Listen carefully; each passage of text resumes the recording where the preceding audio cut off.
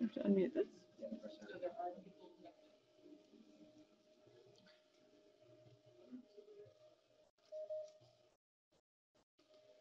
Good afternoon, everyone.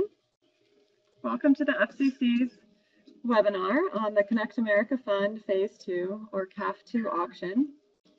I'm Chelsea Fallon, the director of the FCC's Rural Broadband Auctions Task Force. With me are Heidi Lankau, an attorney in the Wireline Competition Bureau's Telecommunications Access Policy Division, and Martha Stancill, an economist in the Wireless Bureau's Auctions and Spectrum Access Division, as well as other Bureau staff who are on hand to answer questions.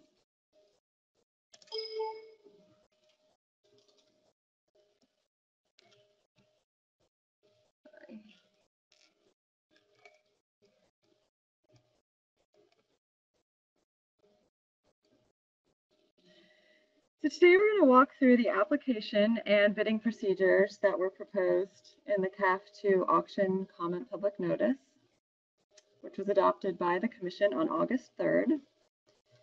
Heidi is going to give a high-level overview of the proposed application procedures, and Martha is going to explain the proposed auction design and bidding procedures. She will go through the basics of bidding and what happens before and after the budget clears, how winning bids will be assigned and support amounts determined, as well as package bids and proxy instructions.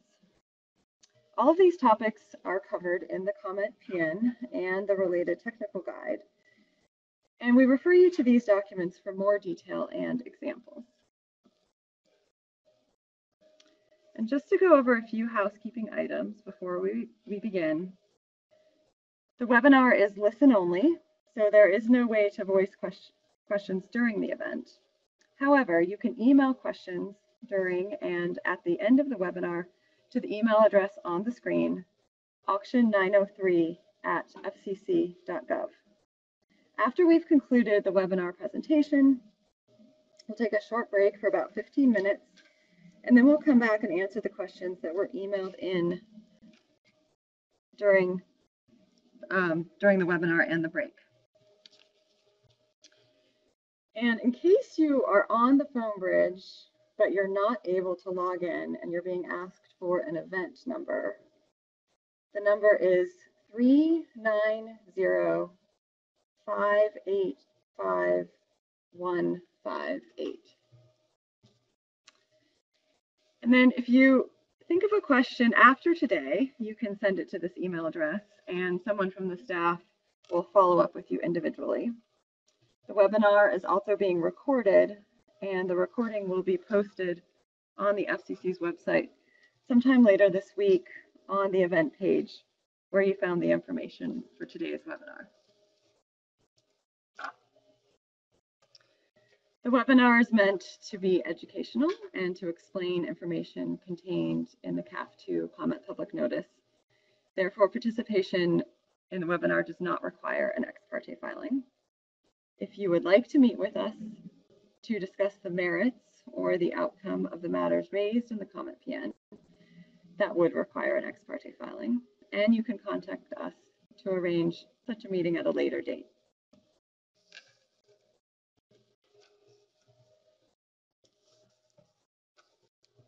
Okay, and I'm just going to give that event number out one more time in case folks need it. It is 390-585-158. Again, that's 390-585-158. Hopefully everyone has that.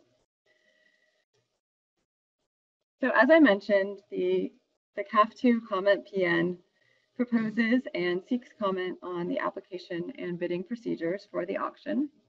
Comments are due September 18th and reply comments are due October 18th.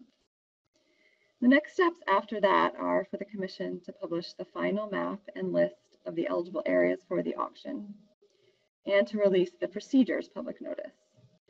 The procedures PN will adopt the final rules for the auction and announce the auction start date and application filing deadline. We plan to commence the auction sometime in 2018. So why are we holding the reverse auction for CAF2? The decision goes back to the FCC's 2011 transformation order, which adopted extensive reforms to the Universal Service Program.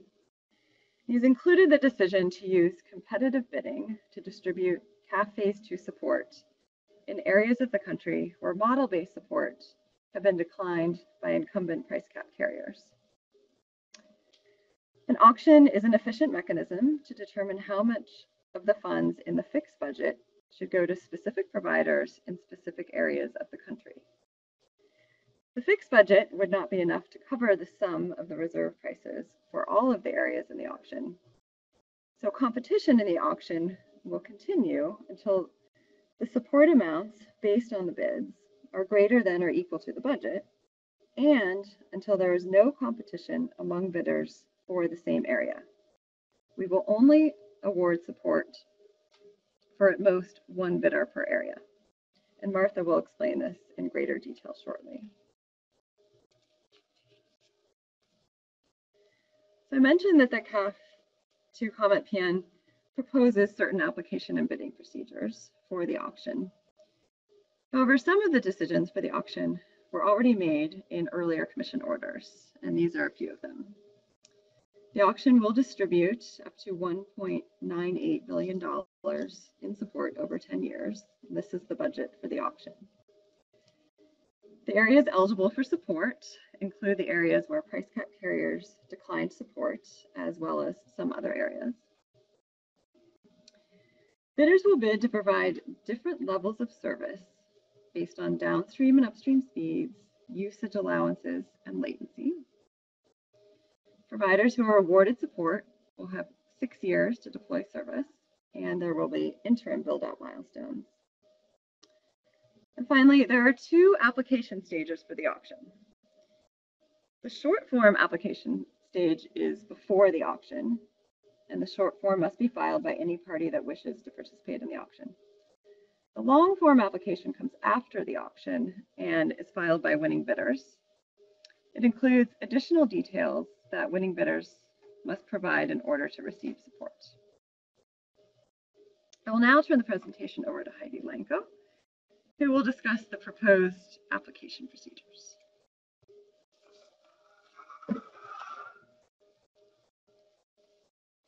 Thank you, Totally.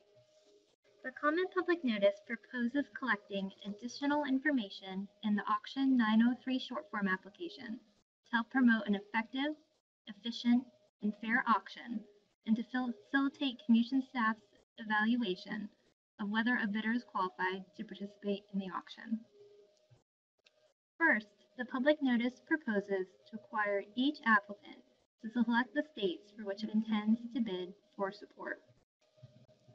To safeguard against coordinated bidding, the public notice proposes to prohibit applicants that are commonly controlled or that are parties to a joint bidding arrangement from bidding in the same states.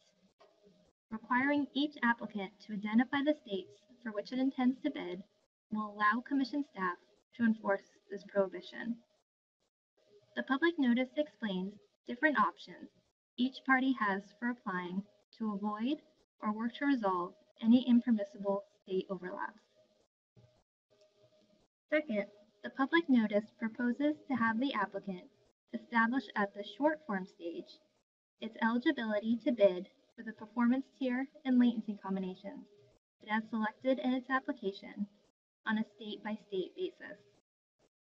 The public notice proposes to collect in the short form application specific high-level operational information from each applicant, as well as specific information about an applicant's access to spectrum if the applicant intends to use spectrum, in order to demonstrate that the applicant could provide broadband service at the selected performance tier and latency combination.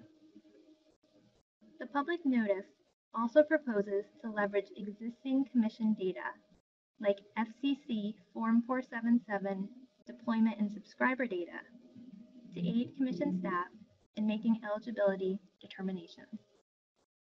Third, the public notice proposes to determine each applicant's eligibility to bid based on certain financial metrics.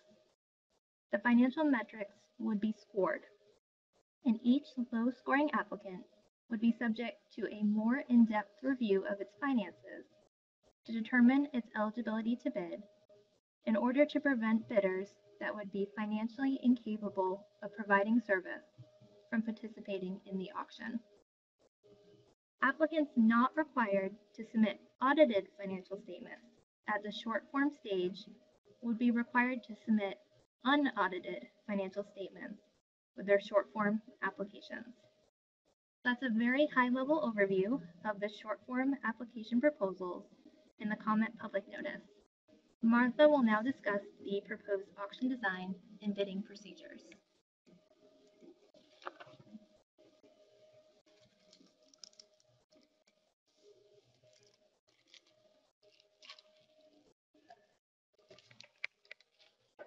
Thank you, Heidi and Chelsea. My goal today is to introduce you to the mechanics of how the actual auction will work so you'll get a good idea of it. And if you have more detailed questions from there, you can look them up or ask us for clarification. So at the highest level, here is a schematic that describes how this reverse multiple round auction will work. It will start in a preview period in which you can make a decision about whether to participate or not in the auction, given the support prices that you may receive if you win. We'll open a round, you'll place bids, the round will close, we'll look at the bids, you'll look at the results, and if there's still competition for the budget and for areas, we'll have another round with a lower uh, clock percentage. So, and that will continue. We'll keep going around in that circle until all competition is resolved.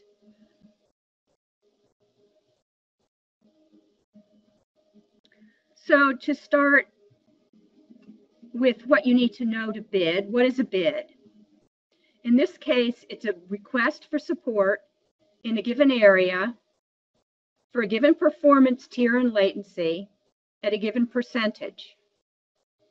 And all of that will correspond to a support amount. We'll talk about that in a little while. An area consists of the eligible census blocks in the census block group. Performance tier and latency options were determined earlier by the Commission. There are four types, minimum, baseline, above baseline, and gigabit performance tiers based on speed and usage metrics. And there are two categories of latency, high and low. Once a round is closed and you've submitted a bid for an area at a given performance tier and latency um, at a certain percentage, a submitted bid obliges you to provide that level of service at a support amount corresponding to that if you if you win. Now, going forward, for most of this presentation, I'm going to discuss bids for single areas. Later, I'll mention package bidding, but think of this as just you can place bids for different single areas.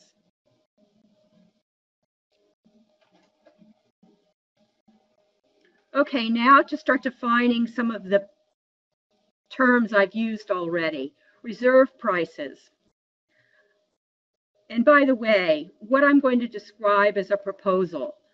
Um, and I will probably forget to mention that every time, but keep in mind that what's in the comment PN is a request for comment on proposed procedures. Each area will be associated with a reserve price, and this will limit the amount of support a bidder can receive for the area. The reserve price is set prior to the auction using the Connect America cost model. And for each census block group, the reserve price is the sum of the support amounts calculated by the cost model for each of the eligible census blocks within the census block group. And there's a cap on extremely high cost census blocks.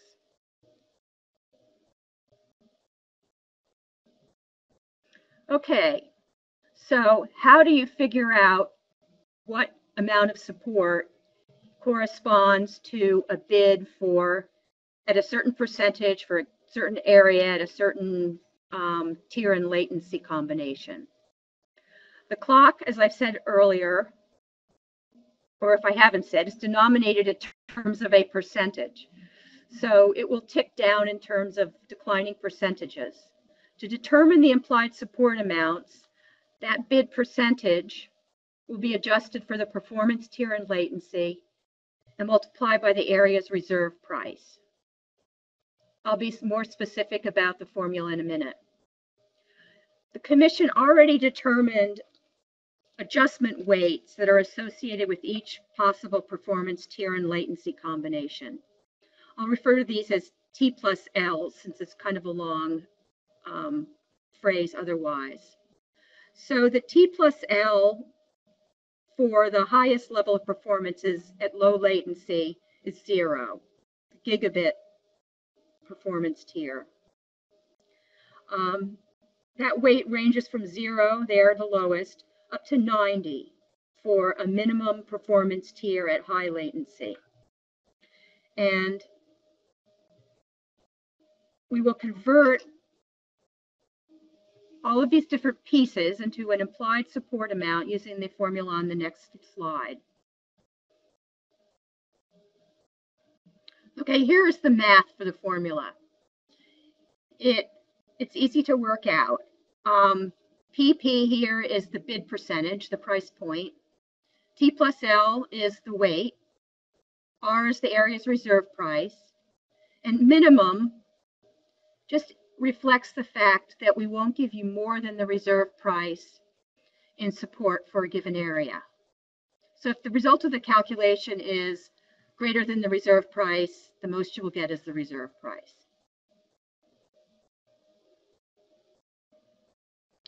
Okay, here's an example. Um, you wish to provide baseline service at low latency in a certain area, certain census block group. The area has a reserve price R of $200. From the table a couple slides back, you can see that that corresponded to a T plus L weight of 45. And the base clock percentage we assume for this example is 150%. More later on why it's higher than 100%. Okay, therefore we just plug those numbers into the formula. And we get the minimum of 200 or a little more than 200, 1.05 times 200, which is the minimum of the reserve price 200 and 210. The formula gave us a number higher than the reserve price. So your implied support amount here is 200, the reserve price. Okay, the clock decrements by 10 percentage points in the next round. Say it's at 140%. So plug those new numbers into the formula, and we get the minimum of 200 and 140 minus 45 over 100 times reserve price 200. And that comes out to the minimum 200 and 190. So in this case, the minimum is 190, the formula support amount. And that's your implied support amount at the base clock percentage of 140%. So just to walk through this in a slightly different way, we're back on our example, reserve price 200, T plus L is 45. The clock the auction may have opened at 170%, for example. Round one, it may have fallen to 160%. That, using the formula, implied support at $200. In the next round, the clock percentage fell again to 150%. Again, your implied support was $200, your reserve price. In the third round, the percentage has been decremented to 140%. Your implied support is $190. And so on. At 130%, your implied support is $170. etc.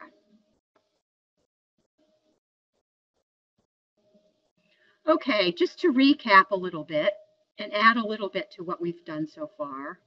This is a multiple round ascending clock auction. Each round is associated with a base clock percentage, which starts high and decreases for each bidding round.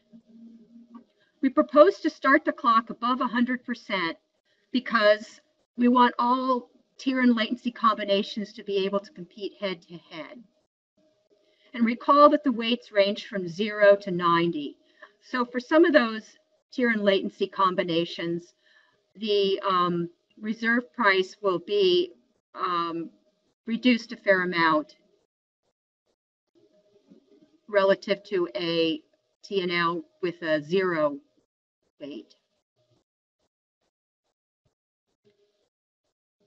Okay, and bidding rounds will continue as long as there's competition among areas for a share of the budget or among bidders for support to a given area.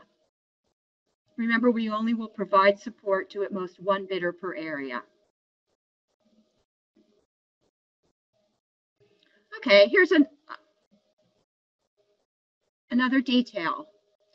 Um, what if you're what if support at 140% is enough? You're willing to accept that.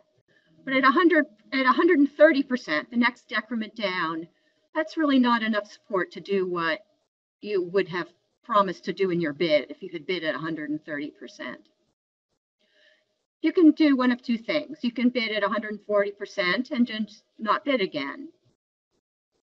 Or you can choose to bid at a more precise percentage an in-between percentage between the 130 base clock percentage for this round, going up to but not including the 140%.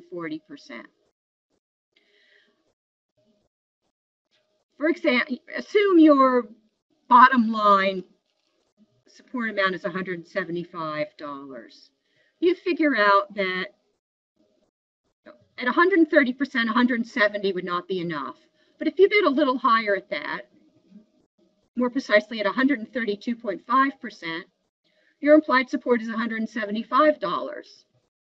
So if you submit a bid at 132.5% in that round, and the bid is assigned, your support will be at least $175. Now, I'll also explain the at least part a little later. But so this is your basic decision. As the base clock percentage decreases, given the corresponding amount for each area, do you still want to bid for an area or do you want to drop out of bidding? Which you can do, as we said, at an intermediate percentage. Okay, another detail. We have activity rules that require two things. One, that you do not bid for more support than you did in the previous round. And this is measured in implied support dollars. So in other words, if you were bidding for a total of, you know, $400 in the previous round, you can't bid for more than $400 of support in this round. And the activity rules also limit the extent to which you can switch to bid on different areas. Proposed switching percentage is 10% of the prior round's implied support for bids made at the base clock percentage. You can find those, that and other details in the PN or the technical guide with the PN. We have activity rules to encourage bidders to bid in what we call a straightforward way. And as a little aside here, during that box in which you bidders, the that bubble in which you bidders will be examining the results, you will be given information telling you the number of bids that were submitted at the base clock percentage for the previous round for every area. So that will give you a good idea of the number of bidders that are bidding against you for a particular area. And the fact that we have activity rules that govern the steadiness, basically, the consistency with which bidders place bids makes that information much more reliable for you.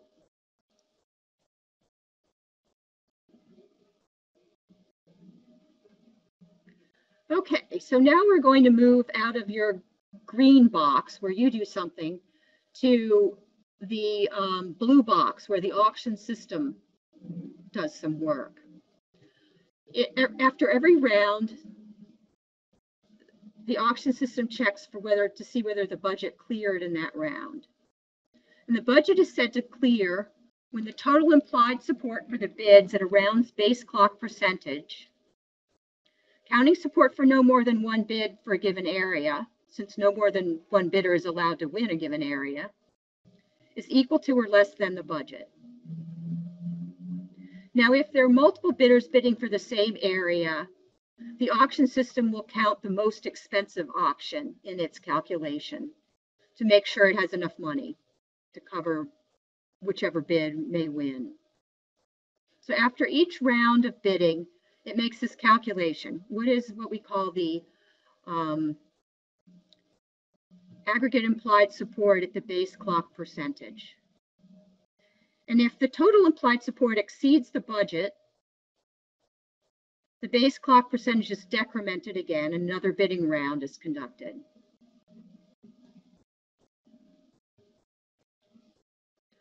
Okay, so after, a you know, a series of rounds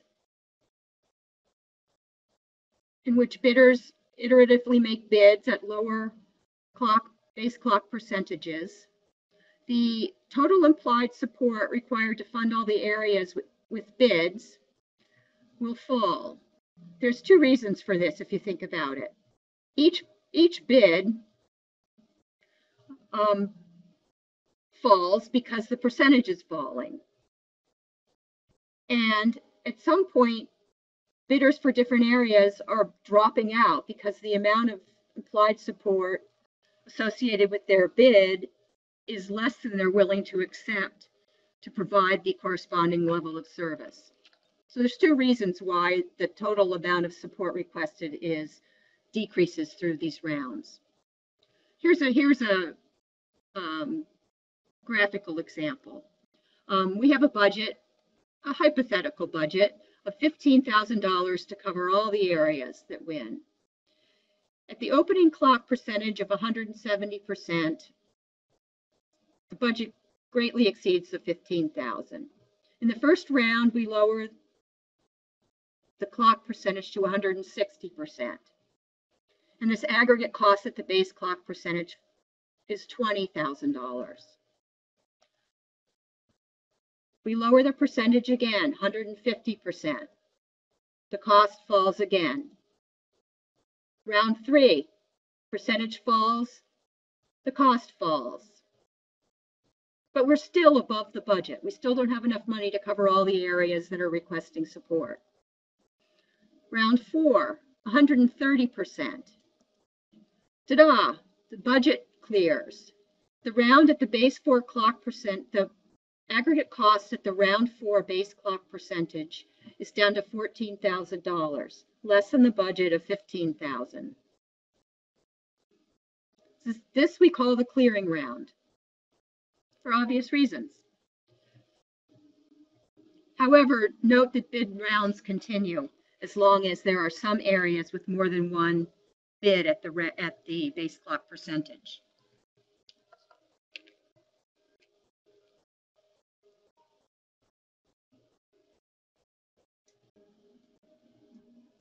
So as I just said, this round in which the total base clock requested support falls below the budget is called the clearing round.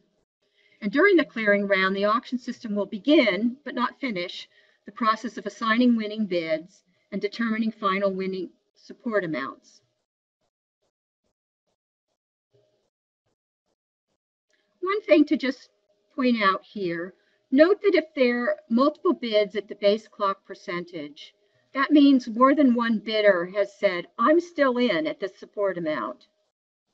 Um, that's the lowest support we've asked about so far. So we're going to lower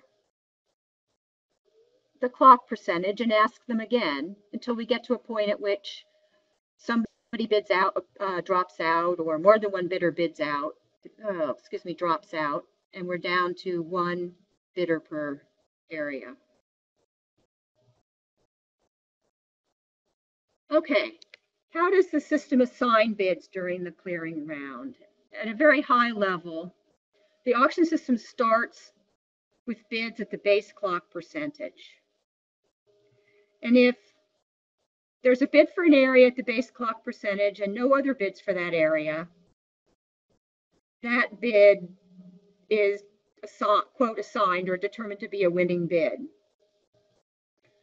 And it does that for all the areas at which there are no um, no other bids for the same area at the base clock percentage. And then it starts moving upward. It wants to find the lowest bid for each area. So it looks at, at, at bids in ascending percentage order. And for a given area, it assigns the first bid it comes to. That's, that is, the one at the lowest percentage. Okay, now keep in mind here, the T and L doesn't matter for assignment. All the system's looking at is percentage. But it will affect the amount the winner, the winner will receive.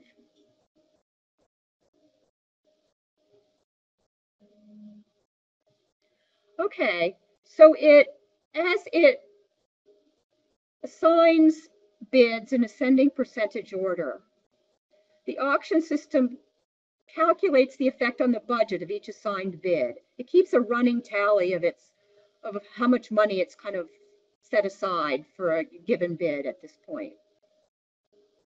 And at some point, it will get to a point at which to what we call the clearing percentage.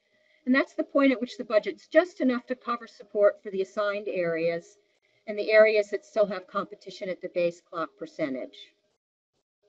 Remember, there are areas at the base clock percentage that may have more than one bidder vying for support.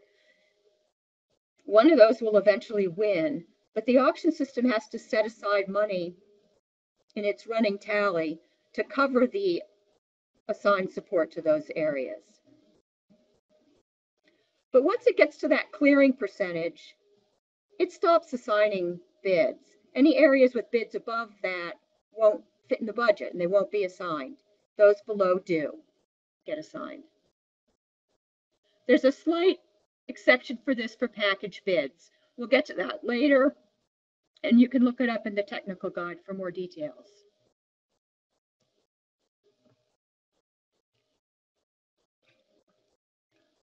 Okay, the you'll recall that a couple times I may have mentioned that the bidder will receive support at least as high as its bid percentage. That's because we use a second price rule to determine support amounts. To give you a very high level example of the second price rule, assume I want my house painted and I ask a number of painters for bids. If I'm following a second price rule, I will hire the painter that gave me the lowest bid, but I'll pay him at a price that the second highest, second lowest bidder gave me. So that's the second price, basically. Now, we're going to generalize that principle to this auction, and I'll describe it like this. What we want to do is select winners, those bidders that are willing to accept support at the lowest percentages, but we're going to determine the support amounts based on the percentage at which competition is resolved. Now, think back to my painter example.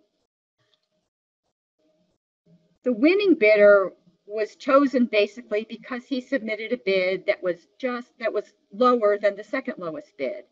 So the point at which competition was settled, the point at which he became the winning bidder was really the second price, was really the point at which there was competition was settled.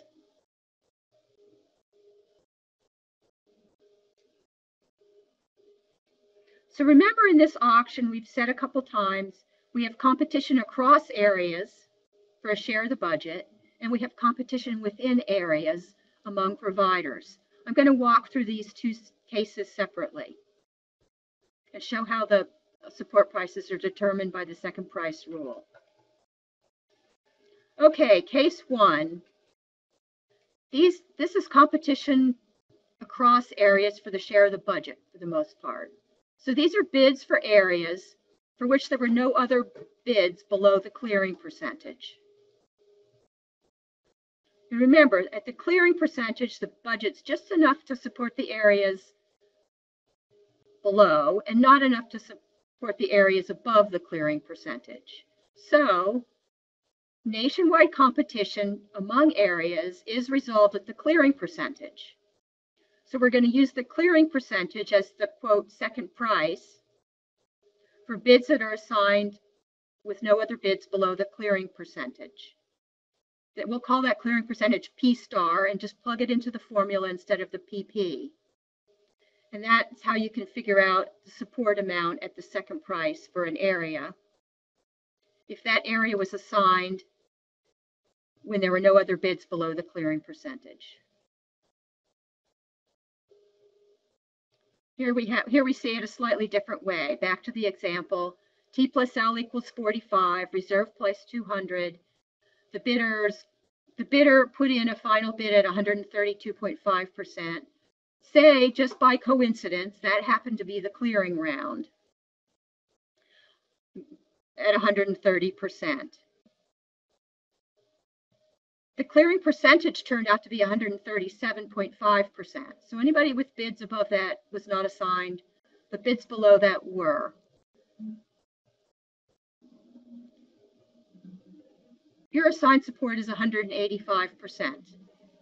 In other words, we use your T plus L, your reserve price, but the P star is a 137.5%.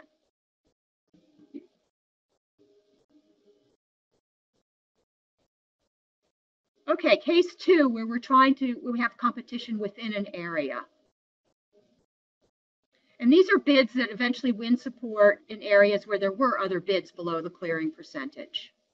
That could happen sort of two ways. It may happen in the assignment round or may happen later. But in the assignment round, bids that were assigned when there were two or more bids at different percentages, at or below the clearing percentage, the bid at the lowest percentage wins and is supported at the percentage of the next lowest bid. It's following the second price principle. And then if there were multiple bids at the base clock percentage in the clearing round, we have more clock rounds until only one bidder for each area remains. And in that case, the lowest bidder for an area will win and be assigned support at the percentage at which the next lowest bidder drops out. For example, the base clock percentage for the clearing round is 90%, a different example. Um, and the system finds a clearing percentage of 96% within that range of 90 to 100%. And there are bids for a given area at 91%, 93%, and 97%. The 91% bid is assigned at a support percentage of 93%. So this is the second price. So the second price principle is more obvious when we apply it to competition within areas. But note that this is also consistent with that general principle. These are the prices where competition is resolved for these specific areas. Another example, back to our original one. Um, in this case, there is another bid for an area below the clearing percentage. Our bidder put in a bid at 132.5%. Somebody else put a bid in for the same area at 135%. Our bidder wins, but his assigned support is calculated at the 135% percentage, which in this case comes out to be $180. So again, this is at least what he bid, at least his bid, his bid percentage.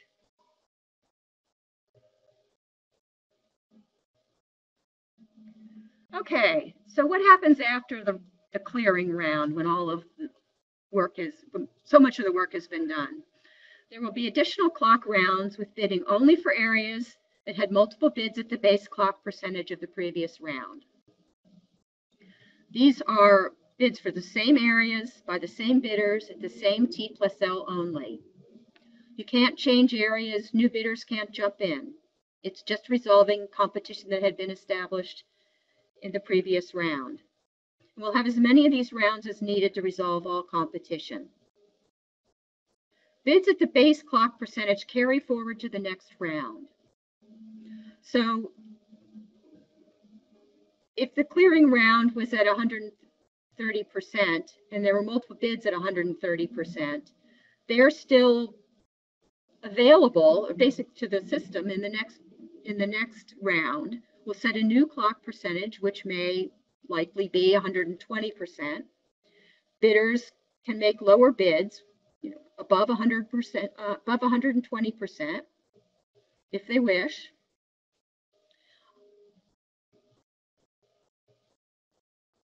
But the bids at 130% are still in the system. And for each area, the bid at the lowest percentage wins. As we've said, but supported at the percentage at which the next lowest bidder drops out.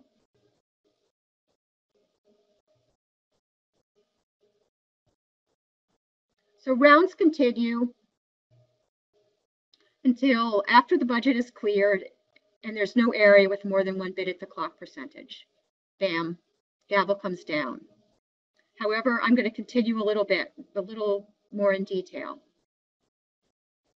Okay, here's an additional topic, package bidding. So far, we were talking about submitting bids for areas to individual areas. Now, we're going to point out that a bidder can also submit a single bid for a group of areas. So this is called a package bid. The package bid must be submitted at a single percentage, the base clock percentage or an intermediate percentage, up to the previous base clock percentage as for any bids. Within the package, there may be bids at different T&Ls for different areas. A given area can only be included in one bid either for, it could be a single area bid or a package containing the bid, the area, but only, only in one place. And packages may be partially assigned. This is important. These package bids for this auction are not all or nothing bids. Under our proposal, a package bid must include a minimum scale percentage. And this is a way of giving the bidder some control over how much the package of the package will be assigned if it's going to be assigned at all. So we propose that this bidder specified minimum scale percentage be capped at 80%.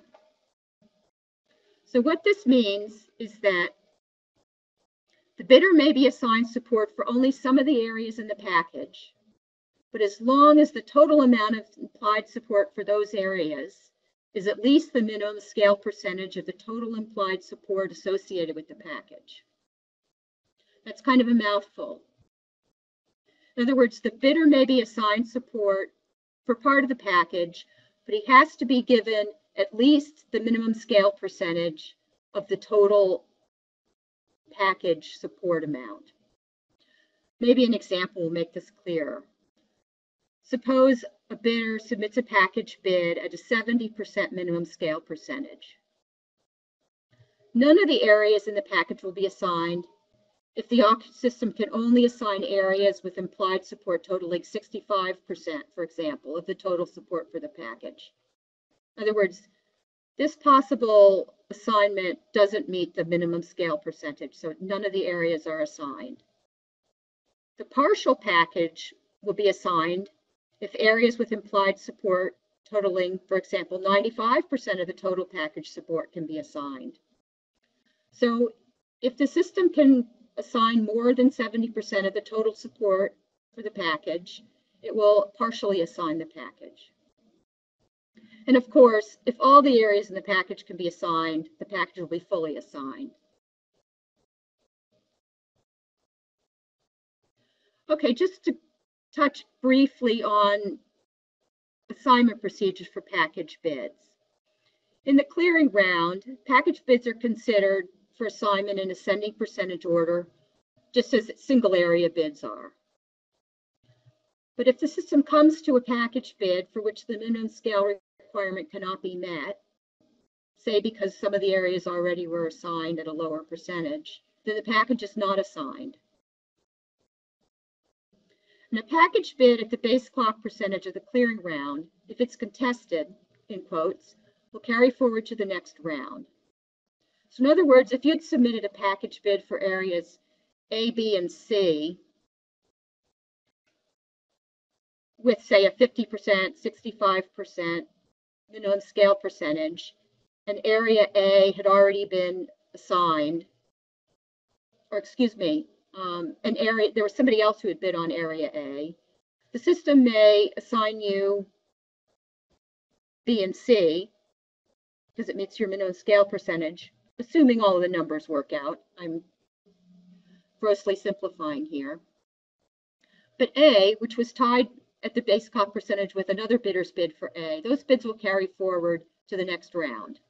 If there were more than just A, they would carry forward as singletons. So for more details on processing package bids, please see the technical guide. Okay, another option for bidding, proxy instructions. You have the option of telling the auction system to submit a proxy bid in each round as long as the bidding percentage is at least a certain bidder specified minimum. In other words, you can give the system instructions that say, bid for me as long as you can bid at at least 72%. And in every round in which the system can submit a bid consistent with those instructions, it will do so. And those bids are treated just like bids you had submitted manually. Those bids can apply to a single area or to a package. And at any point before the proxy percentage expires, in other words, below 72%, whatever, you can change that number or take it out. So why this may be very helpful is because it safeguards against you missing a bidding round. And that's important if you go back and think about those activity rules. Remember, you can't bid for more implied support than you bid for in the previous round. So if you forget to bid and miss a round, you're greatly limited in what you can bid for in the next round. You don't want to miss a bidding round. Okay, last additional topic, one you cannot ignore. You can ignore proxy bidding instructions or package bidding if you want to just bid for individual areas manually every round. But everybody must pay attention to prohibited communications rule. So rule section 1.21002 prohibits auction applicants from collaborating or communicating in any way with any other applicant regarding any applicant's bids or bidding strategies unless the applicants are members of a joint bidding agreement disclosed on their applications. So this applies to applicants starting at the application deadline and continues regardless whether that regardless of whether they eventually qualify to bid or whether they actually do bid. And an applicant includes any entity applying, includes the entity that's applying, any party with control of the entity, any party controlled by the applicant entity, or controlled by a party controlling the entity. So it's a broad definition.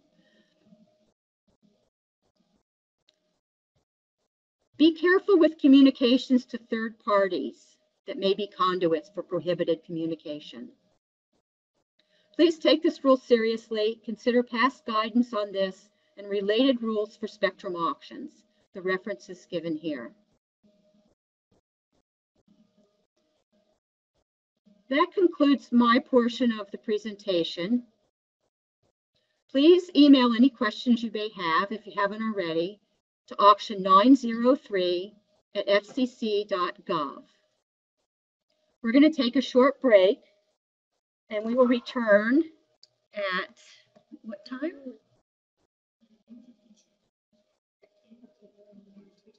At 2:10. We'll return at 2:10 to address questions that you've submitted. Thanks.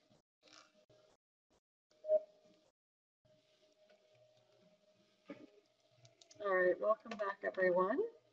Um, we're going to try to answer uh, most of these questions and um, particularly those with, with general applicability uh, to a lot of the attendees. Um, for some of the very detailed hypothetical questions, uh, we may get- follow with folks individually on those. So uh, one of the questions is asking when the slides will be available for download. We are planning to post the slides this afternoon uh, on the web page, the event web page for this webinar. The full recording of the webinar with the with the voiceover presentation, we're planning to post later this week. Okay, and then um, I'm going to take a couple of the a couple questions, and then we're um, other subject matter experts who are here will handle some of the others. So one of the questions asks what what defines an area, and as proposed in the comment PN, the the areas eligible for bidding in the auction would be census block groups, and those would be the eligible census blocks within the census block groups. And as a follow-up to that, ask if we have um, broken down the support amounts on a per county basis. And there will be a, um, again, that the geographic area is the census block group, not the county. And there will be a reserve price established for each census block group. And as, as we mentioned in the presentation, those, the reserve prices are derived uh, from the, the Connect America cost model.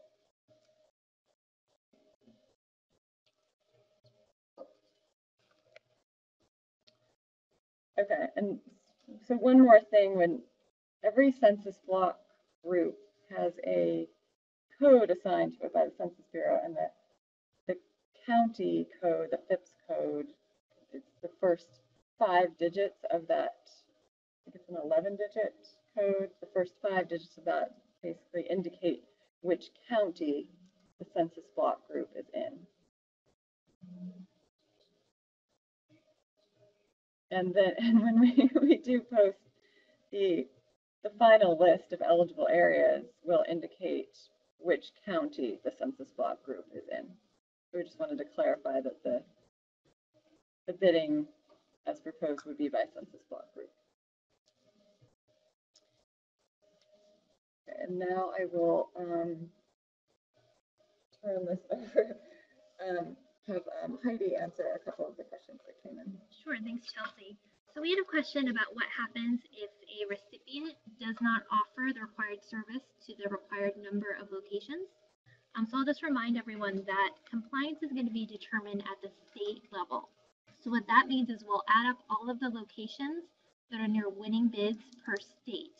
And that will be the number of locations that you're required to offer service, meeting the performance tier and latency requirements. And we expect that bidders will do due diligence prior to bidding to make sure that they're able to identify enough locations to meet those requirements. And if at the end of their, or if at each interim build milestone, you'll remember that there is a um, six-year build out period, but there are interim build out milestones during that period.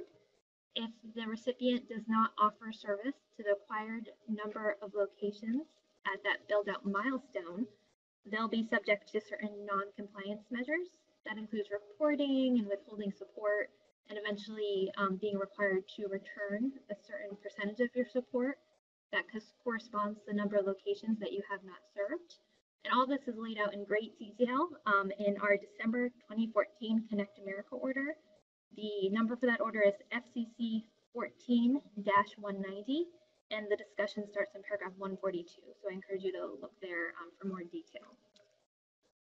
We also received a question as to if a winning bidder is required to apply for eligible telecommunications carrier status.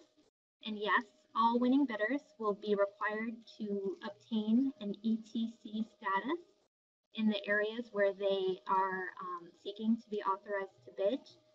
Entities that are subject to their state jurisdiction will be required to obtain that ETC designation from the states. Otherwise, they should seek ETC designation from the um, FCC. And they will be required to offer a standalone voice service in addition to their broadband service. Then finally, we received a question about how to determine from our preliminary eligible census block list whether census blocks are within a census block group. And as Chelsea mentioned, um, each census block has a code that um, will tell you whether the census blocks are grouped together into a census block group. The census block group is determined by the first 12 digits of the 15 digit census block number. The first two digits are the state.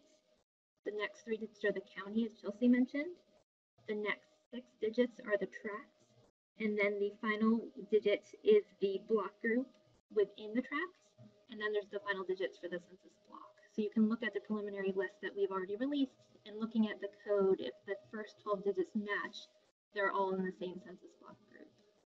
Now I'll hand over to Oh, to Martha, who will answer some questions.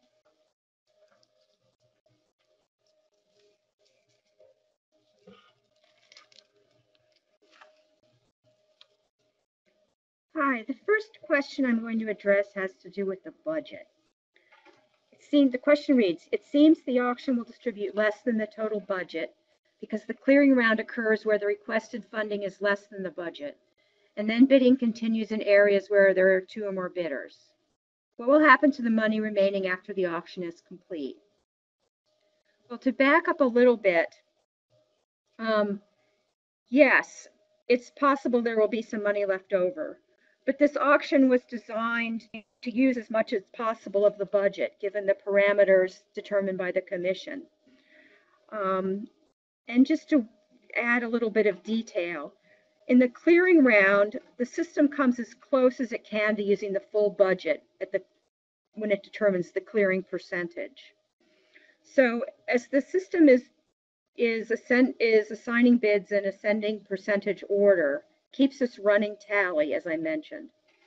And in calculating the running tally, it takes into account that the assigned bids will all be supported at, quote, the second price, which is a higher and higher percentage as it goes through the process of assigning bids.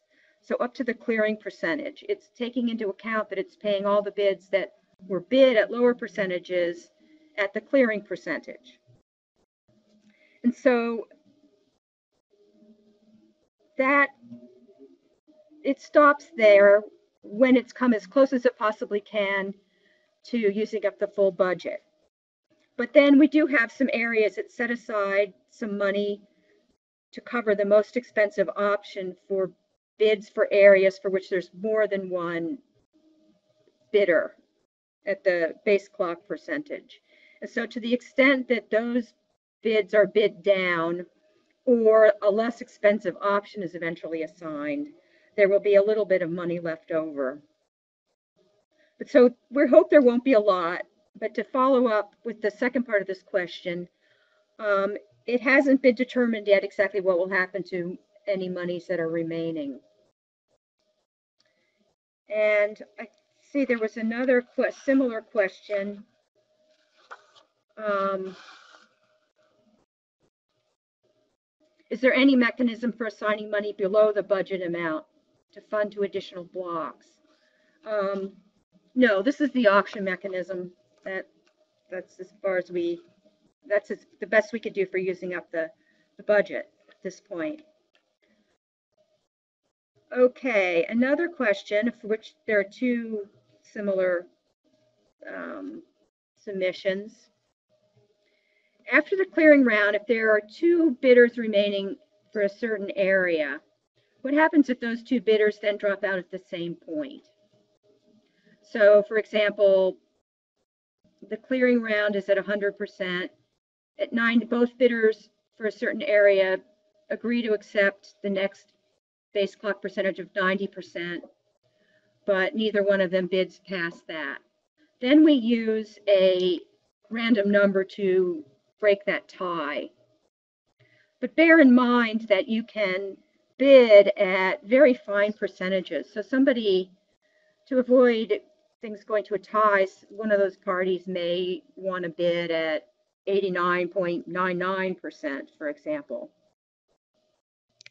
Let's see, another, yes, another question was exactly the same one. What if, happens if both bidders decide to drop out after the clearing round at the same percentage? Yes, it goes to a tiebreaker. Okay. Third question. Can the same entity submit a bid for a, an area at the gigabyte level, level for a certain amount of time? And then if the price gets too low, switch its bid to the next performance tier so that it can continue to participate in the auction. Yes, you can switch your, you can switch to bidding for a different T plus L. However, keep in mind that you can't bid for a negative or a zero amount of support. And that when you switch from bidding, say, from a gigabyte with a zero weight to a performance tier with a, a higher weight, um, your implied support amount is going to kind of jump down a bit, not only with the uh, decrement in the bidding percentage, but with the adjustment to your reserve price. So yes, you can, but you must bid for a positive support amount.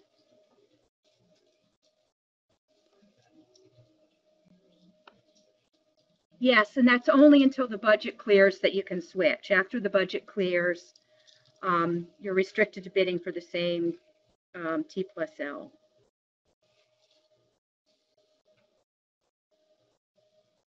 Yes, someone else asked, may bidders change their performance tier during the auction? Yes, prior to the bud, to the clearing round. Okay, let me see what I have next. Are you able to discuss why 80% was proposed for the package percentage? Why are there no all or nothing bids? There are a large number of areas, eligible areas in this auction. And if package bids were all or nothing, large packages could potentially block other large packages from being assigned, leaving many areas without support. So 80% was proposed, and you can comment on this, this, this proposal as a relatively high number that still allowed enough flexibility for the auction system so as not to allow packages to block other packages. And just to that point, um, some of us are thinking of this in terms of spectrum auctions where we're assigning licenses.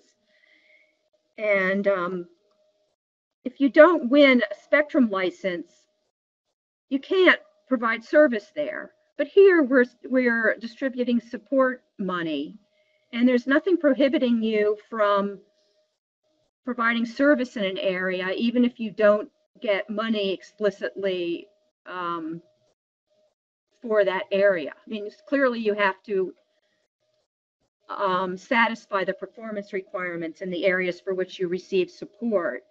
But you can, you know, use other money from other sources to fill in um, holes if, if you want to. And this bit, this question continues, could bidders instead view how much the- their bid is accepted and say whether or not they want to take the bid? No, the, being able to determine the minimum support percentage, minimum scale percentage is our way of giving bidders that, that, uh, control, that voice. Okay, does somebody else want to take over for a little while? Hi, this is uh, Margie Wiener uh, from the Auctions Division in the Wireless Bureau. Um, We have um, a question about prohibited communications and uh, asking for a bit more information about the joint bidding agreement and what will be required for such disclosure. Um, I point you to paragraph 21 of the comment PN, which proposes to use or to adapt the uh, definition of joint bidding agreement from our um, wireless spectrum auction context for this purpose. And uh, basically uh, proposes to um, it- that a joint bidding agreement is one that relates to any eligible area in the Phase Two auction and addresses or communicates bidder bidding strategies, including arrangements regarding Phase Two support levels. So um, that would be, that's the proposal to use that as a definition of a joint bidding agreement. Um, Generally, the advice to look at past uh, application uh, and statements of the commission and staff regarding prohibited communications could be helpful here. I think in general, when we talk about whether or not an agreement exists, we look to whether or not all the, um, and I think we've said this and you can find this in other public notices, whether all of the uh, major terms have been agreed to, uh, whether or not the agreement is written. So you need to uh, be quite uh, clear that you actually have an agreement. Um, And I'd also just want to point out that the agreement needs to be disclosed by all parties to the agreement on their applications.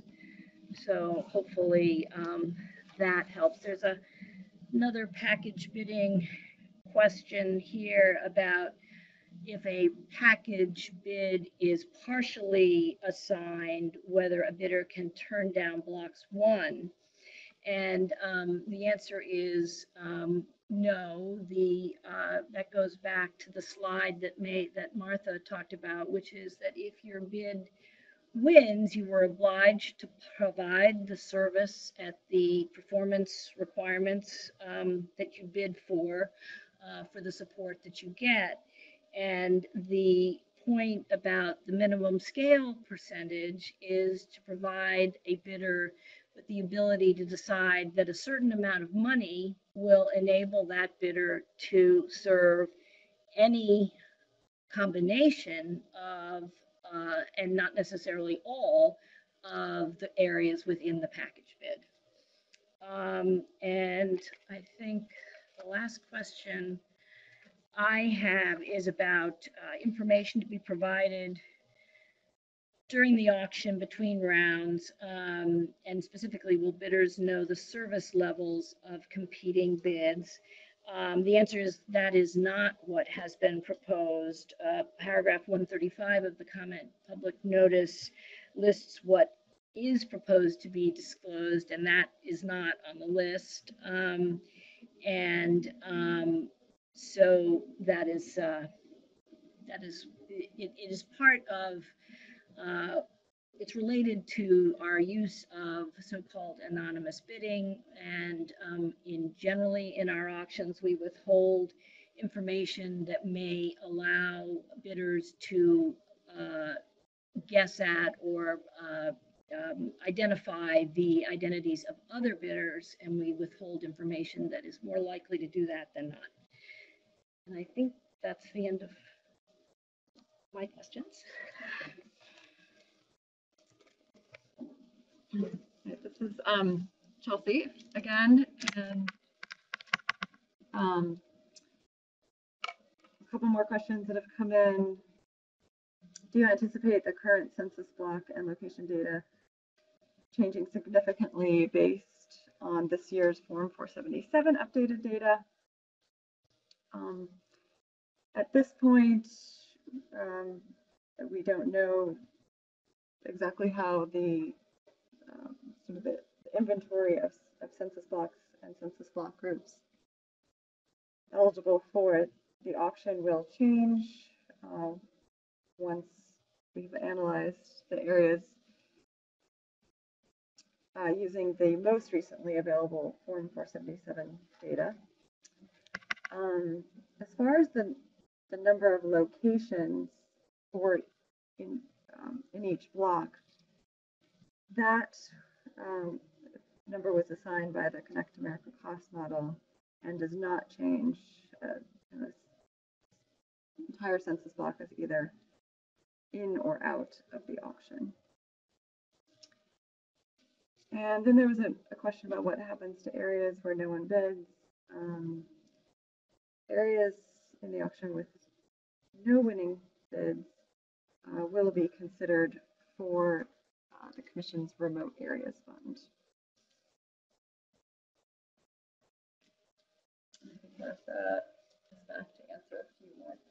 Hi, yes, um, I have a couple more questions. Can the auction end without clearing? It seems the design is relying on some areas not being bid. I'm not exactly sure what's, what's envisioned here, but it, we start out the auction, and in the first round, after bids are processed in the first round, as in after every other round, the auction system will determine whether the aggregate um, implied support at that percentage fits within the budget. And it's possible that the answer is yes, even in the first round, in which case we move to the assigning bids and determining support amounts. Um, or the alternative is that the implied support, total implied support after the first round of bidding is greater than the budget, then we go on with multiple rounds until the budget does clear. So no, the auction won't end without clearing. Although I will add a caveat that as in all of our auction PNs, we reserve the right to cancel or pause the auction for any reason. I'm just throwing that out there because we do say that. Uh, I don't envision it happening for this reason, but who knows? Okay. Another question, can a bidder switch between bidding for a package and bidding the individual areas between rounds? Yes, no problem. Uh, you have to pay attention to the activity rules. But if you were just bidding on the same areas in a package or individually, you would have the same, you, you're, you'd be fine with the activity rules. Okay, another question. Nothing direct was said about bidding below the clock. Can a package bidder just make a bid for all areas within a state at say 80%? And how does that factor into future rounds and the future ability to make changes?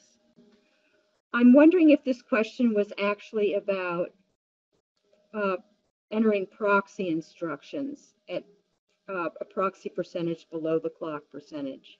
In general, during a bidding round, bids are permitted any percentage at the new base clock percentage or up to but not including the prior rounds base clock percentage.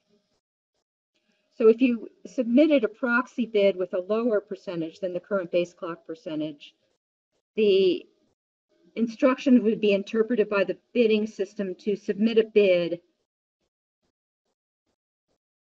for the round at the base clock percentage.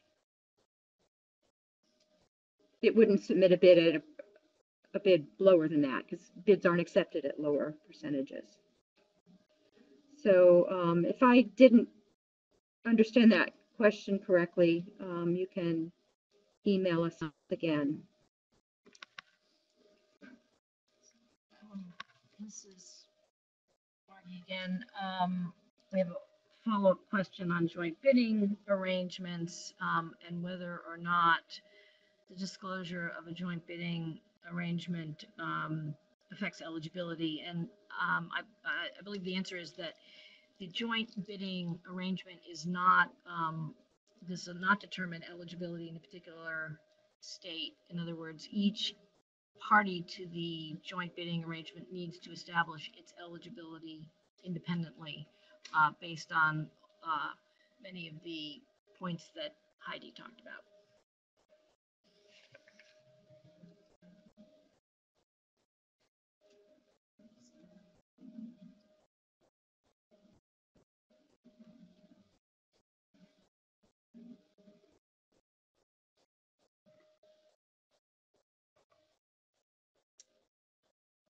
Uh, I think that we have gone through all or most of the questions we've received, or maybe a few um, really, like I said, detailed hypothetical questions that we will follow up with those folks individually.